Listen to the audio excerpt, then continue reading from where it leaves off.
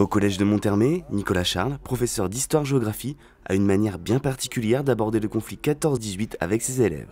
Il s'appuie sur des courts-métrages mis à sa disposition par l'association La Pellicule Ensorcelée. Avec cette approche originale adaptée à leur âge, les adolescents ont plus de facilité pour comprendre la Grande Guerre et ses enjeux. Les sons et les images animées rendent le sujet plus concret à leurs yeux.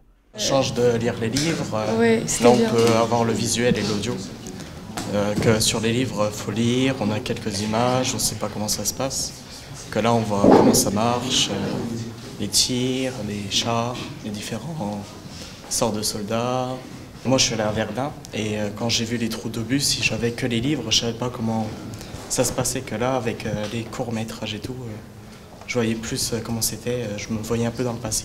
Ben, moi, je trouve que c'est mieux pour apprendre parce qu'on voit mieux le contexte historique et tout, comment ça se passe et dans les conditions qu'ils vivent et tout. Parce que sur écrit, ben, c'est un peu. Euh, on ne sait pas exactement euh, ce qu'ils font.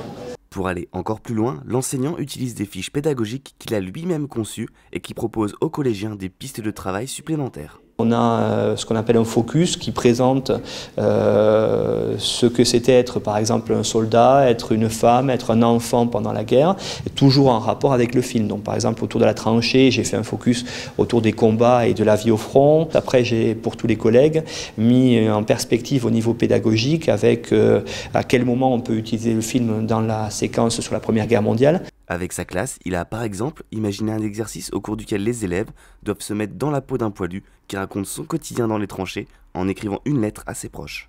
Grâce au soutien du conseil départemental, les enseignants qui souhaitent bénéficier de ces supports peuvent les récupérer gratuitement auprès de la pellicule ensorcelée. Ils trouveront également en libre accès sur le site internet de l'association les fiches rédigées par Nicolas Charles.